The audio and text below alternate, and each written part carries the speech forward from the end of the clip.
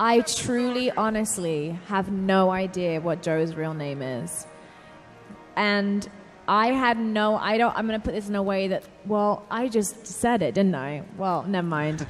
um, truly, honestly, when we get scripts for Grey's Anatomy, I, I honestly have no idea what's going to happen. And Justin and I, a few episodes before that, we heard that there was going to be a wedding.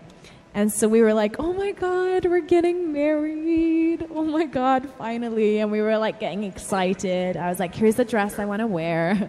And um, then, we, then we heard it wasn't us. And then when we got the script, we were completely blindsided.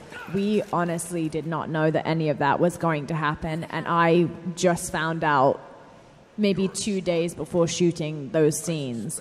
So I truly have no idea. I don't know if even they know. So we'll see. I have no clue.